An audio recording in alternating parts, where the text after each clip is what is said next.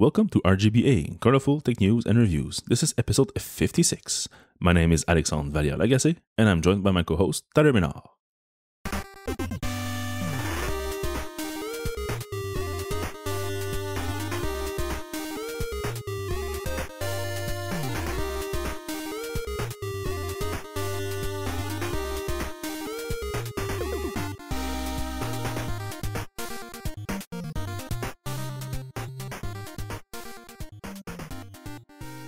Right, starting up with the follow up this week. Um, the guys behind the Juice board, the electric skateboard I reviewed a couple episodes ago, uh, they basically successfully completed their Kickstarter, and how many they got like so many orders. Uh, I think they crossed even the two hundred thousand uh, dollars threshold. Let me see exactly the amount. It's two hundred and fifty-seven thousand dollars. Um, Indiegogo doesn't give you like a straight up number for the number of people who backed it, but you could basically like add all the the little uh, uh, rewards to see exactly how many. But basically, it's it's it's a lot of boards. So they completed that uh, uh, that Indiegogo campaign, and now they already posted a new update saying that uh, as things are with those um, Kickstarters and Indiegogo campaign, they introduce a delay of three weeks. Uh, the reason being that they um, basically made some major changes to the board, and not to the look, not to the specs, but more to the power of the board. Um, if you remember uh, during my review, what I had is the dual board, which was the dual motor. So two of the wheels, the two from the back, had uh, motors, and they are now announcing that the single version has the exact same power as the dual, which I had as a pre-production unit, and the new dual has 30% more performance. So this is in uh, the torque uh, directly. It's not that it's going to go further 30%, but it's just that you're going to reach your maximum speed uh, 30% faster. Uh, so they, what they did is they showed you like uh, on a little video uh, on a straight uh, road the pre-production board versus the final version board, and the two guys look to be about the same weight, and they just go go on it, and you can see that that thirty percent really makes a difference. I think it's the same guy. No? Two guys. It's uh, Edward and Matty, the oh, two co-founders. Okay, because there's another video showing me it's the same guy on the on the same on different boards, but like uh the screen is cut in the middle. Uh, yeah, yeah. that's the same guy. Well, yeah. Anyways, uh, so yeah, basically that's uh that's the good news for that. Um, also they changed a bit the controller. Um, the uh, they made like a, a rubberized uh, coating instead of being a regular shiny plastic, so that fits better in your hand. It's less, it's it's more grippier. And one problem I had with my remote was that the second time I put it on, I basically broke the uh, lanyard. So they made that wider, bigger, and adjustable, kind of like your your Apple TV remote or your Nintendo Wii uh, remote. Basically, the lanyard is very large, and there's a little piece in the middle that you can adjust. So that's it. And uh, to uh, excuse themselves, if you wish, uh, for that two, three weeks delay, uh, they're including for all backers a second fast charger. That's a $50 value. Basically, when you bought the board, you had one uh, $50 value charger uh, that could charge the board in an hour or less. And now you have a second one for free because they just want you to be happy, basically. So all in all, uh, this is pretty nice stuff uh, from Juiced. Uh, I spoke with Edward yesterday, and I'm hoping to get my hands on the final uh, production unit uh, very soon, as soon as they can get a couple more shipped to their their company in Alberta. Because right now they are still only have a couple of boards, and they need to keep them for for videos, for testing and stuff.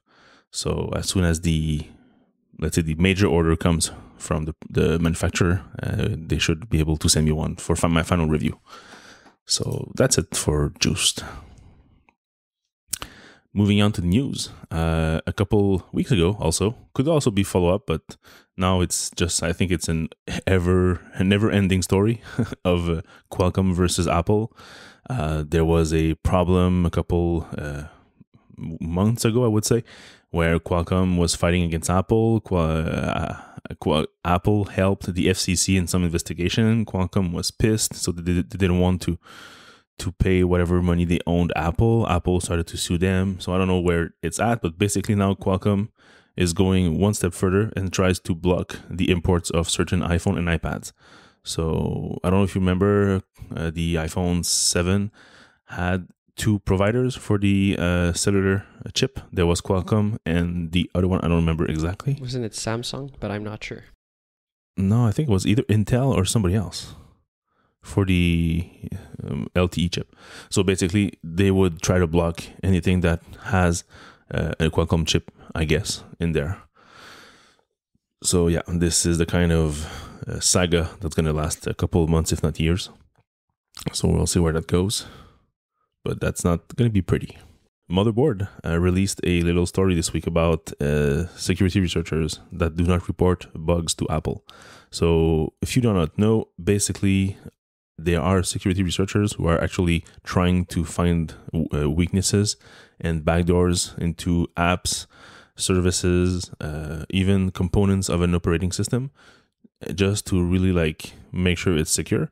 And the incentive they have to do that is that when they report a bug to Google, Facebook, Apple, whatever, there are usually bounties. So the more the more important the bug is, the more dangerous this backdoor or this thing could be used for a hack is, the more money they get. But the thing is that for iOS, those bugs are so important for the jailbreak community, for the um, uh, forensics companies, that basically the incentives from Apple to report the bugs are way lower than what they can get from other, let's say in air quotes, uh, sources that are legit. Or third parties. yeah, third parties. Let's call them third parties. Yeah. So that security researchers basically do not know, well, the one that they interviewed do not know anyone from their, uh, their, their, their gangs or from their, their, their the colleagues that ever reported to Apple bugs because the money they can make from third parties is so much bigger. So that's a major problem for Apple. Uh, we all know that jailbreaks is all fun and and amusing up until that there's one site you visit or one SMS you receive and then your your iPhone is is owned or your iPhone is bricked. So that that's why they should really increase those amounts, uh, especially that they have so many devices on the market that it's not only a major target, it's also one that many many people try to uh, get access to uh, using uh, those those bugs. So they really should increase the, the amount of money they give. Yeah, there's an example here. You can get 1.5 million from Zerodium, or you can get uh, 200k from Apple for the same bug, the same zero day exploit. The decision is not hard to make when you get uh, one to five, yeah. one to six uh, times the the amount. Okay, so our favorite corner in this summer, well, every summer, the rumors corner. Uh, all the rumors are talking about the iPhone, obviously. And I, I don't know if you read it, but John Gruber posted a nice like speculation on price. I, I yeah, I've seen the, the tweet. I've seen the tweet, and I've seen that they're just gonna probably delay the inductive charger for later this year, kind of like what they did with the portrait mode. Yeah, uh, but that's all I read. Right. And I don't know if you remember back in when the watch was announced, and he had a nice article saying that there. I don't know if he had an article, but he was on record saying that the edition would be like um, uh, fifteen hundred dollars, I think. Yeah, I remember. remember and everybody said, "Hey, you're crazy! You're crazy! What are you talking about?" Well, you did it again now for the new iPhone. So basically, he his scenario. He has two scenarios. One of his scenario is an iPhone seven at $100 less, an iPhone 7S at the same price as the iPhone right now. So, like the normal iPhone price, if you want, normal new iPhone price. And then an iPhone 8 or D- Deluxe, I think he calls it in the article, or iPhone Pro, or however you want to call it, for um, $1,200 or maybe $1,500. Yeah, that is uh, very expensive, but not that expensive considering another news. Just a quick parenthesis here. Um, Red Cameras, makers of amazing 4K and 8K cameras, announce a holographic display technology on a new uh, cell phone for this year. So, which will be fifteen hundred dollars. So, this will be a cheap iPhone compared to this red iPhone, a red phone. And also, he talks about one thing that I didn't think about the supply constraints for these OLED panels. Um, what happens if the not what happens, but if the iPhone, the new iPhone, doesn't sell, like I think it's 50 million in the first quarter or something like that, it's going to be considered like a failure. But what happens if they can't deliver 50 million iPhone 8 or iPhone Deluxe because of supply constraints? So the way you do it is you just put the price higher so less people are going to buy it, kind of, sort of. And then people are going to fall back to the 7S, which is still going to be a great phone, but at the normal iPhone price. Yeah, I don't know if it's a good idea to restrain the offer like that. Um, I'm thinking that it's been like what three years, if not four, that there were rumors uh, from the supply chain that the next iPhone would be OLED. So I'm guessing that in 2018, Apple probably managed to get the quality they want, even uh, with the, the DCI-P3 color gamut uh, technology that they included this in this year's phone. So I'm really hoping that like they got it right and they're able to get whatever amount of screens they need. I don't think that Apple would risk it. Like say that the next iPhone has an OLED screen and basically at the later at the last minute said, "Oh, you know what? We could only made 50, 15 millions. So whoever wants one, you'll have to go on eBay and pay four thousand bucks to get one." You know, I, am pretty sure they won't. That's not going to happen. So if they do release an OLED display, then it will be uh, there will be enough of those. Uh, what we still don't know now, because all those rumors usually come from the supply chain uh, in the last couple of weeks, um, will all three iPhones, like the iPhone 7s, 7s Plus, and the magical iPhone Pro, whatever, um, will they all have OLED display, or is it only the base, the, the most expensive one? Um, I don't know, but uh, I'm I'm thinking that this uh, this more expensive phone really needs something flashy, different to make it worth the upgrade in terms of price. Um, and I think OLED could be that. Then again, maybe they got sorted it out and they can really put it in all three phones. Uh, we'll see. I don't think but, it, would uh, come in all three phones. I think they'd have to go LCD with the the old, well, not the old, the 7S. Yeah, that would be safer, uh, unless they like Apple is usually doing that. They have two or three suppliers for components. Um, it was useful for the watch, for example, because the Taptic engine was made by a Japanese company and a Chinese company, and those from the Chinese companies were not as good quality, so they were breaking in the first couple of weeks. So they just basically turned around to the Japanese company and said, "Here, it's a pile of money. Take your like two assembly lines and make them eight, and make them run twenty four seven, and start today." And to just like get enough components to fix all the Apple watches. So they probably have LG from as in terms of display provider, probably Samsung, and maybe a third party one, maybe like um, um, what's it called, Sharp, Sharp displays, or somebody else. So maybe all those providers together, they are able to provide enough quality and enough units that they will fulfill the demand. But yeah, we'll have to see. Um, another thing Ming-Chi Kuo is saying is that they're going to start at 64 gig the minimum. That makes sense. yeah. I really hope it's true. I'd be surprised though. They took so much time to get to 32. Would they really yeah. make the jump already to 64? But that'd be good just for the quality of the pictures that we're taking now. They're so big compared to what we used to. Yeah, especially if they have new cameras. Maybe they go 16 megapixel. Maybe they do 4K with 60 frames per second. Uh, if oh, that's oh, yeah. the case, then you were talking about videos. Uh, videos of your kids take up so much space, and you can't practically yeah. take any. Yeah, the weird thing is, I tried to either 1080p 60 frames per second, and for some reason on my Apple TV with Infuse, uh, it just doesn't work. Like it's one frame per three seconds, so that, that's like very awful. But 4K 30 frames per second works fine. Um, but that's probably because it's uh, the new codecs. Since I'm on a the iOS 11 beta, so it's the HEVC and HEIF, HIF and HIFC. yeah, don't even try. yeah, let's call it HEVC. So yeah, basically that I had problems with that. So, but that the, the file size are like getting the gigs like so rapidly, and you if you start to film a couple of minutes, you easily get into the four, five, six, seven gigs, and just think about somebody who does video a lot uh, for whatever reason, that 64 gigs can be filled in just like half an hour or less. And if you get 4K, because right now you have 4K 30 frames per second, that's the highest quality you can go. if you want to go higher in terms of frame rate, you need to go down to 1080p. But what if the new iPhone has 4K 60 frame per second? Then that's double the file size right there. So you'll get like what, like uh, maybe two gigs per minute or something. So you'll be able to film a, a couple of minutes and then your phone will be filled. So that, yeah, 64 gigs is kind of like a, a, a minimum at this point. Yeah, because right now they say that it's 170 megs for 4 g for 4K for a minute of 4K. Sorry.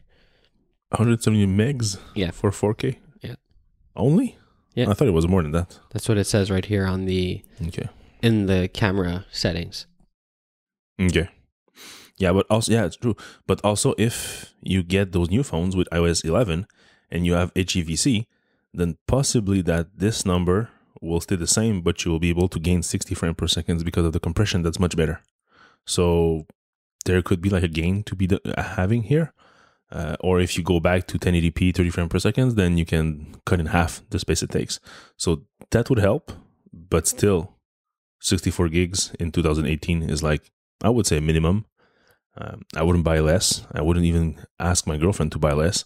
Uh, the only thing I need is more iCloud storage, so that's good. It's coming with the family plan, so I'll be able to share my big terabyte with my family and stop having them bug me because they cannot do their backup from iCloud to iCloud. So Yeah, I'm interested to try that too. yeah, as soon as it's released, uh, I'll get all our devices updated and jump on the family plan. That will be much easier. I I don't know if you can use the family plan for the iCloud storage and not do family plan for App Store and all that, but we'll see how it works.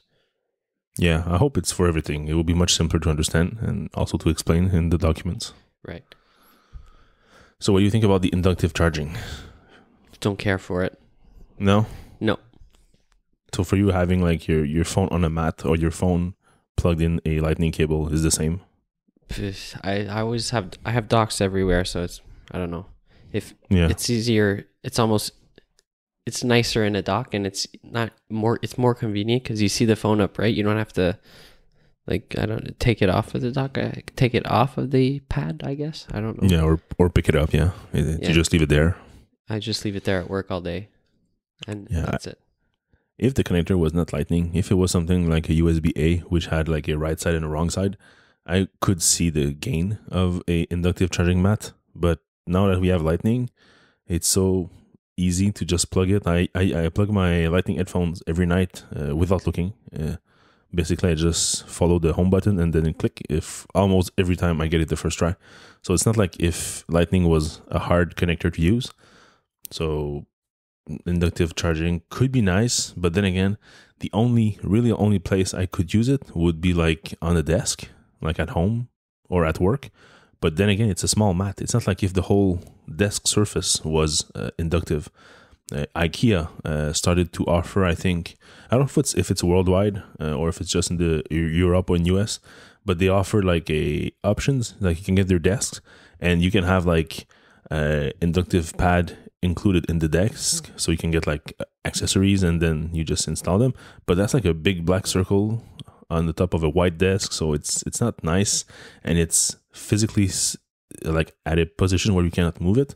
So if you change your desk setup, you change your screen or you change whatever you decide to put your laptop on the left of your screen instead of behind your screen or to the right, then you're screwed because that thing stays there. So yeah, it, it's it's it's it's nice, but is it nicer than what we already have? I don't think so.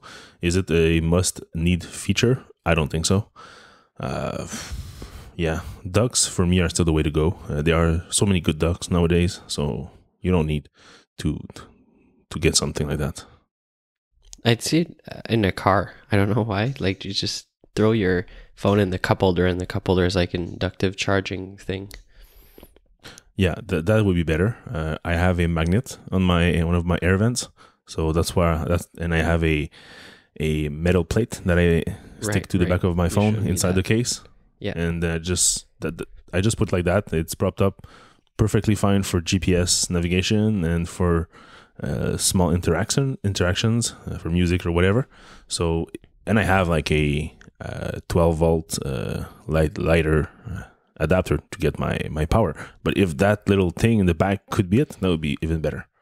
So yeah, I agree that uh, cup holder or some kind of air vent system uh, would be the best. Uh, just have to hide the wire then. But Your uh, little yeah, cubby, like the, storage areas there, you can just throw your phone in and it would charge. yeah, that would be great. Yeah, I like all three sizes, sizes, sides, and the bottom would be all inductive, and you just as long as your device touches one of these sides, you'd be good to go.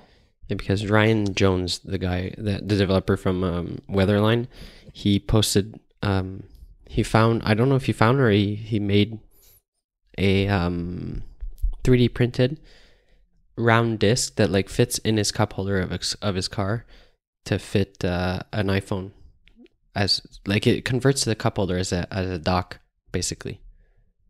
I can Okay. dig it up and show you. It's going to be easier because I know the explanation I just gave is horrible. So look, I just shared a picture with you in Slack. yeah. So okay, it okay. So it's basically just like a dock adapter, if you want, that Yeah. fits, In his cup but like, but it's not like inductive charging or anything. It's just a No, regular no. dock with a with a lightning cable in there. no. And then Okay. he has a Shapeways uh, link if you happen to have a uh, the same model BMW as, as he has. Okay, well, that's nice. And how much do they sell this little plastic part? 43 Thirty-four dollars. Canadian. Yeah. Wow. Yeah. Okay. I like these because you can always hit the 3D button and just turn around the the, the the little shape and see exactly how it's made. Okay, I see it. Okay, pretty nice. Nicely done. So you put in your cable in there. It's just fixed there, and then the rest is just plastic that fits directly into the cup holder. That's nice. If the cup holder would be inductive charging, it'd be cool. That's why I Yeah. was thinking about it in the car for the car. Yeah. For real. Yeah. Um, talking about cars, did you do you have activated the iOS 11 feature there of um, do not disturb while driving? Yeah. I'm thinking of disabling it basically. Okay, it gets on my nerve. yeah, I already disabled it too, especially uh, if you're a passenger in the car. Yeah, uh, that, that that's the worst thing because you don't it, it doesn't know if you're ri- driving or not. So Yeah, yeah, no, uh, I, the idea is great. Like the blocking notifications, fine. Blocking text messages, fine. But like so often, I I need to know just something. Not that I need to take my phone and text while driving, but just glance at a message and just coordinate with my my wife or something or she, she might just send me a text saying okay don't forget this at the grocery or whatever but then i get to the grocery but since i didn't get any notifications i just go in go out and then i when i got back to my car take my phone out of my, my pocket to put it back on the dock and then realize that she asked me like 12 minutes ago uh, to not forget something which i just forgot so it's it's it's yeah it, it gets on my nerves basically yeah, me too. And I I forgot to try because I disabled it too fast, but I wanted to try in the train if it gets enabled in the train or in the metro. Uh, I would. Uh, you, you know what? I'm I'm thinking that it even gets activated when I'm driving my skateboard, because most of the times when I got I got to work in the morning, uh, you sent me a Slack or a text or whatever, but I I'm I'm sure I did not feel my watch buzz during the the, the ride. So I'm pretty sure that even while doing skateboard, it basically guesses that I'm going too fast, so I must be driving and gets into the do not disturb mode. And then by the time I get to work, like pass my key card and get in the office and everything, uh, when I look at my phone, then I see all your your messages, but I don't see the um, do not disturb mode. So I'm I'm almost sure that it also triggers when you're just riding a bicycle or a skateboard or roller skates or whatever. Okay, we're gonna have to test this this week. It's yeah, homework. there's yeah, exactly. There's a lot of rain going on until Tuesday, but after that, I think we should be okay. So, discussing the iPhone 8, um, there is also rumors that all three phones will have OLED display, like we said. I don't believe that. Uh, I'm pretty sure it's it has to be something very special for the big iPhone Pro, and just like a magnesium uh, shell or something like that, that wouldn't be enough. Like they need to keep a couple of features for that device. Um, but if you want to see exactly how this iPhone would look like. There's even like a video of a physical mock-up. So you know, we we've seen renders, we've seen renders of the iPhone 8, the vertical cameras and stuff, but now there's somebody who actually made one uh, using glass and metal, I guess. And you can see it on YouTube, like being handled in a very nicely done video. So the links in the show notes if you haven't seen it. It's pretty nice. Um, then again, I'm surely not going to jump on this uh, just because of the cameras. Uh, I have my Moment case, my Moment lens, which is a wide a wide lens, which I love, and changing phones would mean that there will be no uh, accessory for that for a while. Uh, just thinking that the iPhone 7s was released last September. We're now July, and I just got my Moment case, so if they were to do the same thing with the next iPhone, you would still need to wait another year. So yeah, that wouldn't be good for me. Uh, but yeah, uh, the the look is nice. Um, I really love the the way that the the top part of the the bezel looks. Like it's only um, the lens is in the middle, and on the sides you can have screens. So that's a very nice way to use to leverage all the space for the screen. And for Touch ID, well, we can jump in that discussion, but uh, I, I don't think it's going to be removed. Like there's so many discussion this week about people saying that it's going to be removed, replaced by a face recognition so, uh, thing, and how do you handle just looking at the phone but not unlocking it or not approving some Apple Pay stuff? For me, uh, Touch ID will stay uh, for just one simple basic reason: it's proven tech, and also it's the reason why Apple was able to get banks on board with Apple Pay is because of that little sensor. So if they remove it, then they need to quickly renegotiate contracts and prove to the banks that this face thing is as secured or better than the fingerprint. And just with general knowledge, fingerprints are used for CSIs stuff, so crime scene investigation, because they're reliably unique. So people know that if you have some sensor that scans your fingerprint and it works, it's going to be unique. But your face, this has already been done by Samsung and it's already been easily circumvented. So that sucks. Uh, Apple would need to like do so much work before releasing that that we probably would have heard some higher exec of Bank X saying that oh we're so proud to be partnered with Apple with the new face technology or whatever. So that won't happen. Uh, if the face technology is included, it's going to be an add-on feature for some of the workflows, but not replacing Touch ID for sure. Yeah, me too. I don't think they'd remove Touch ID. Yeah, at this point, it's it's, it's so proven, it's so nice that it's it has to stay. Like I understand the face thing and all that, but Touch ID is a lot more convenient. Especially, yeah. The best example is in the dark, or I I'm not sure how they do it. Yeah, and and also as Apple usually is, the first generation of something basically works. It works well, but it's not the best. It's not like perfect. So if they were to release this face screening thing this year, it would be nice. It would probably work, but I don't think it would be as fast as it could be. Um, whereas if the second year they like they did with the Touch ID 2, that's really when this thing got like so fast that it's basically like frictionless. You you don't need to hold your finger too long. Just by touching it, it basically registers. So I'm thinking that this same uh, frictionless use would only be available in the second generation of face detection. So that's why I'm I'm very doubtful that we're going to see this as a replacement for this here. Uh, probably just an extra feature, but yeah.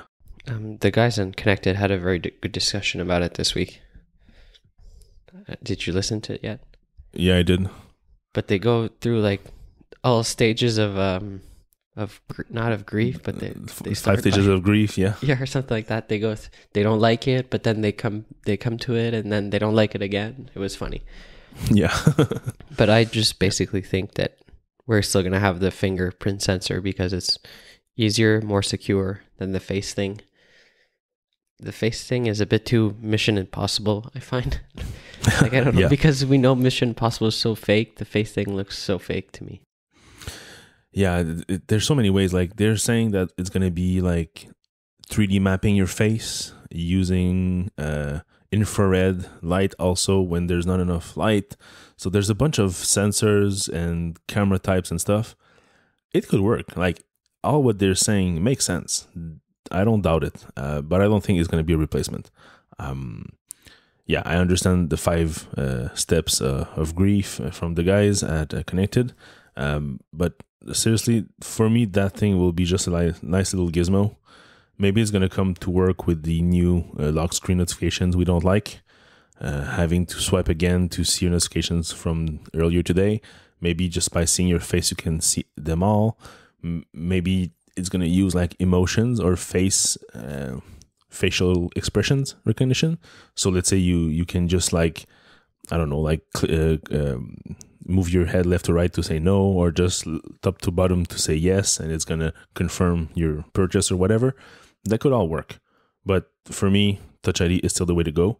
And it's in the if it's in, if it's in the front and it's somewhere in the bottom, just by looking at the the new Siri icon, it would make sense. If it's not there and they couldn't put it there and it's behind the phone, I've been using the Google Pixel for a couple of months now. It's it's pretty nice. It's it's very well placed and it's just a perfect depth. It it when I put my finger, it's always on it. It's always always reaching it like without any um, any problems. Uh, for example, that I have the LG G6 right now with me. Uh, it's not placed in the same way because the phone is uh, is longer and uh, a bit less wide. Uh, so I not I do not always reach it properly. So in this case, it's not the best. But if they get the placement right, even if it's the back, for me it's fine. I don't care. Yeah, the back I think it's just a question of getting used to it, but it works. It works pretty good. Yeah, yeah. If if you get the ergonomics right, then you're you're good to go. Moving on to review corner, um, I posted two reviews this week. Uh, one was the Ion Audio Max LP USB turntable, but actually I did review this in the in the podcast like a while back, and I completely forgot about it. it was in my pile of boxes, and I just stumbled across it this weekend and said, "Yeah, I should probably post my review for that." So uh, I did. Uh, basically, it's a USB pluggable turntable, so you can put vinyl records on it and listen through the um, embedded speakers, which are not too great, or plug in your headphones, which is much, much, much better. Uh, the sound quality is very good. Um, you can also plug it to your computer via USB cable that's provided, and it basically pops up as a external microphone. So you can use any recording software of your choice to record the audio. I use Audio Hijack to uh, to digitize a the Hello Internet vinyl episodes that they released a couple of months back um, that's pretty nice. I could even like I have two versions. One that's like pure recording, and the other one where I remove the pops and clicks just to have a cleaner digital version. So both are available for you if you want to listen to. But I know you just want to to take that uh, turntable from me and just use it to have the whole experience. Yeah, I want the. it's stupid. I have the vinyl as well, but I want to listen to my vinyl on the thing. I don't want. Sure. I don't sure. want to listen to the the file that you sent me. yeah, I understand that. The experience is part of the fun. So, and the second product I reviewed was the Snap Power guide lights and USB charger. So these are basically uh, electrical outlets uh, faceplates that you replace your existing faceplate with one of those. The first one, the guide light, is basically a LED, three LED lights that are um, casting light on the ground. So basically, in the hallway, for example, you replace your outlets with this, and whenever the uh, light level goes below a certain level, the LED opens up and it's uh, it basically illuminates your hallway. So it's pretty useful as a nightlight, for example. Could be used also in bedrooms as a nightlight. And it's really is like you just remove the two screws or a single screw, depending on if you have a decor plate or the other one, which I don't remember the name, duplex, I think. And you just screw that thing instead, and it's basically done. You don't have any wiring to do. Uh, it basically has like two little uh, spring loaded uh, contact points that basically go to touch the the screws where the plus and minus wires are hooked to your light switch or your um, or your uh, sorry your, your electrical outlet. And that's it. Like it they just align perfectly and that's fine The USB charger one is cool. It's it's the exact same thing as a guide light, but instead of having a light, it has a USB port. So it's a one amp USB port. So it replaces your iPhone charger basically. Uh, you can also charge your iPad, but it's going to take twice as long as the regular charger. Uh, but it's like a, just a little, well, it's a large chin or forehead, depending if you install it to the top or to the bottom. Uh, there's only one port, so it's facing right. So in my case, I used it in my kitchen on my kitchen counter. So I basically turned it upside down, so I have the port on top, so so it can be to the left, which is closer to where uh, our device are normally our little corner where we have uh, high chairs for for snacks and stuff. Like a bar So, stool bars. Yeah, yeah, bar stool, yeah, kind of. So yeah, uh, very nice quality, v- uh, very great products. Uh, I've also backed in their campaign for uh, another version, which is basically a light switch version with a light, uh, with the guide light if you want. Uh, but they don't fit for some reason on my on my uh, light switches. So I have an open case with them trying to understand because the two prongs fit. They do hit the two screws. Uh, I'm wondering maybe if, I have like dead units. So I'll have to see. I I backed them for three units, so I have three of those. None of them are working, so there must be something wrong with something. So it's still under investigation. But the Snap Power guide lights and USB charger are fine. They work as intended. Uh, there's a bunch of pictures online. If you look at uh, my review on Ipsopixel, um, I gave them 82%. Uh, ease of installation, le- LED strength is perfect. Design is great. I would have preferred two amps for the USB port, and also two USB port would have been better. Uh, one on each sides, for example, or two side by side on the same side, because it's very rare that you only have to plug one device. Uh, for example, on our kitchen counter, we usually have my wife's iPhone and my phone sometimes, or an iPad or whatever. So that would be the ideal. Would be two ports, two amps each. Uh, but yeah, that's maybe asking too much for a small faceplate. Maybe there are limits to what they can do. Uh, that's why usually you have to replace the whole unit.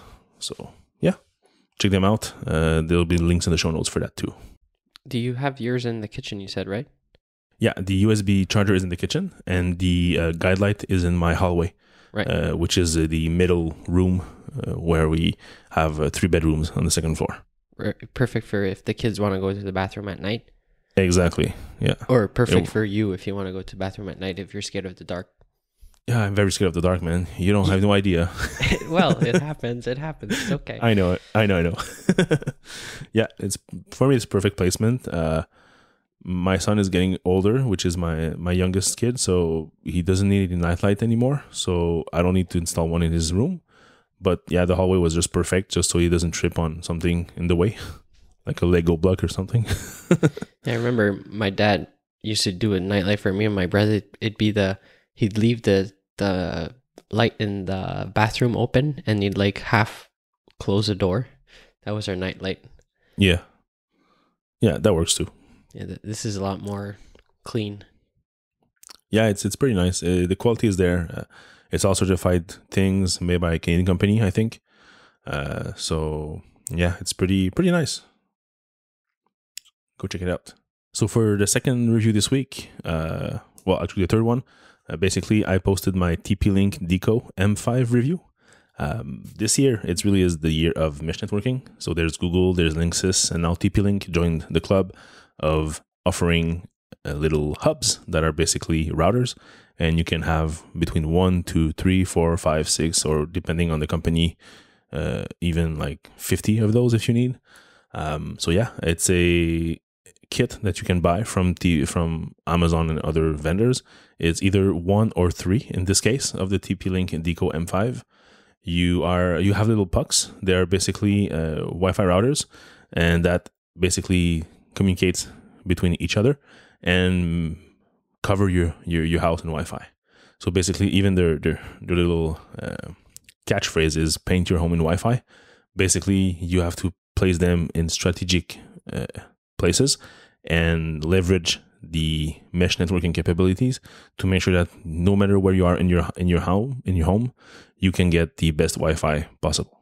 So I tested the three uh, unit version, which is said to cover up to four, 4,500 square feet. So it's quite it's quite large. Um, the design is very nice. Uh, I was skeptic at first because of the shape. It's basically like a hockey puck kind of shape, a bit larger, uh, but it's not like a tower because we've seen the most recent routers, they've all changed to the tower shape or multiple antennas. So if you want to keep your low profile, like the Linksys uh, uh, routers, but you basically have a flat unit, but have like six or eight antennas. And if you want to leverage the AC uh, technology from the Wi Fi, you go like Apple did with the Airport Extreme and you get a tower thing. And there was also TP Link that made some, D Link and whatever. They all have this tower shape now. So when I've seen this, I said, hmm, the shape is nice looking, but I'm not sure it's going to be as powerful as the uh, Linksys Velop system I tested a couple months ago, which is also tower shape. So each unit has a USB C port, which is for the power, and probably also diagnostic, I'm assuming. It, it also has two Ethernet jacks. Uh, these can, the first one, the first unit you plug in next to your router basically uses your WAN connection to paint your home in Wi Fi. And for other units, well, there's uh, something pretty nice that they made is instead of using the Wi-Fi as the back channel, so meaning communication going from your device back to the internet uh, over Wi-Fi, it can leverage the wired internet of your home. So if you have Ethernet jacks in your home here and there, if you install those little pucks near those Ethernet jacks, you can plug them in and leverage that to uh, help with the communication. Basically, make it faster for uploading and also response time. So as I said, you first, you plug the first one uh, using the provided AC adapter, and you plug your Ethernet jack, and then you just launch the app. And as it's the case with the Linksys and Google devices, basically it's using Bluetooth from your mobile phone, so you have to stand close to the to the first puck to de- detect it, and then it's gonna update its firmware because there's often uh, new uh, features. Uh, when I did mine, uh, one of the new features was the Ethernet backhaul for function that I just mentioned. And then once it's updated, it's gonna activate your Wi-Fi, and then you can add more units. And for each of those, it's gonna detect it, add it to the network, and then do a bunch of tests to make sure that the networking is up to speed. And then it's gonna be done. So it's basically very easy, no technical knowledge needed. Uh, I would safely give this to my relative that is not very technical, techni- tech, savvy. Um, and yeah, so that that was the installation process. Very simple. The low profile helps uh, to have them around your house. They're not as uh, I would say as uh, eye popping as a little tower. Uh, even though the Linksys Velop are pretty nice looking, they are still a big tower of plastic. This one could probably fit uh, on uh, on your furniture and be more discreet. So that's very nice. And then we move to the performance. So as I usually do for my little Wi-Fi testing, I basically leverage my NAS, which is super fast, which has gigabit internet and uh, four ports, so I can leverage it I don't know how fast, maybe four to 500 megs per second as their top speed. And what I did is I, as I usually do, is I place myself in uh, five different places in my house. So there's my basement office, which is in diagonal to the machine room where I have my router. There's my basement living room, which is next to the machine room. And then there's the floor kitchen, main floor kitchen. Then there's the master's bedroom at the second floor and another bedroom at the opposite side of the house. So these four places really give me like a good example of how far the, the, the Wi-Fi can go and how fast it can go. So just to give you a quick example, uh, the fastest place in my house is basically the living room and the basement, which, for example, the Airport Extreme does 70 megabytes per second. So all these numbers will be in bytes. So the actual number of megs you can transfer. The Velop does 48 and the TP Link does 52. So not as fast as an Airport Extreme in a direct line of sight, but faster than the Velop. So I was surprised with this first number. Then moving on to the office, the Airport Extreme does 50, and both uh, mesh network devices, the Velop and the TP Link, do 32 megs per second. So it's still very nice. Not as fast as the Airport Extreme though and the main kitchen, the main floor kitchen, which is one level above and a little bit further away because the machine room is basically centered in the house. Uh, I have 15 megs per second for the Airport Extreme. So you see a big drop from 70 to 50 to 15 just by going one floor above. Uh, and then the, the, that's where the, the the really shines. I get 28 megs per second and the TP Link 15. Okay, so that was surprising, but not too much. Uh, I was expecting less performance from the TP Link just by the shape of it. But then the fun stuff is when you go to the second floor. So for some reason, I don't know what magic they do, but uh, I'm getting 9 and 6 megs per second for the Airport Extreme.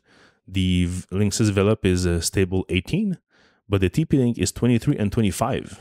So you get almost like 50% faster from the second floor to the corner bedroom. So that's the f- furthest point in my house away from the uh, router, uh, from the basement, of course. Uh, I placed the two uh, extra units, one in the kitchen and one in the master bedroom. So that's uh, pretty surprising. Uh, maybe the main floor kitchen could have been better. Maybe if I tried again a couple days later, maybe it would have optimized the network a bit more and maybe get closer to the 28 megs that the Linksys Velop got. got. But yeah, after plugged it in and I did like my usual three tests and get the average, uh, I got 15. So, but then again, 25 megs for the second floor is better than 15 for the first floor. I don't know if it's because I was leveraging maybe two of the units instead of one, depending on where you you stand. But yeah, it's uh, pretty surprising. I was very happy with the performance. Uh, I was not expecting that performance, seriously, because of the shape, but I was proven wrong, and the shape has basically no effect. Uh, they probably were able to place the antennas around the circumference of the circle, so that's pretty great. Uh, if you want to look for this, uh, there's often also rebates on it. Uh, at the time of writing my post, I think it's done now. Let me just double check to be sure I don't. Yeah, it, it was uh, there was a mass drop uh, group buy that was available for just uh, 199 instead of 299 so it was a good rebate for the three unit kit. So that's uh, that's because the, the Linksys Velop is rarely on on sale and it's very expensive. It's in the 3 to 350 dollar range us uh, the TP Link is close but it's often on sale. So you might want to get this one it's cheaper and it's as good, if not better. I did not use the Ethernet backhaul for my tests because uh, I did not do this it for the Velop, and I wanted to really use the Wi-Fi mesh networking feature and not just a Ethernet backhaul feature. So just to make sure that the device I'm using really are leveraging the Wi-Fi part of the equation and not the uh, the wired internet. So in the end, I gave it 90%. Uh, great design, great coverage, great performance. It's still expensive. Um, and if you don't have any Ethernet jack in proximity to the units, there's no dedicated uplink band. So for example, the Velop, you don't need per se an Ethernet jack because there's a dedicated band just for going back uplink to the internet. So that's how they, I don't know, circumvent the problem of uh, network congestion on the single band is that they have another band just for going uplink. So that's a great idea. In this case, they're leveraging the Ethernet jack for that feature. So it's not bad. It's just a different way of seeing things. So if you have network Ethernet jack around your house, this TP-Link uh, Deco M5 might be better for you because you can leverage that little Ethernet jack. So that's about it.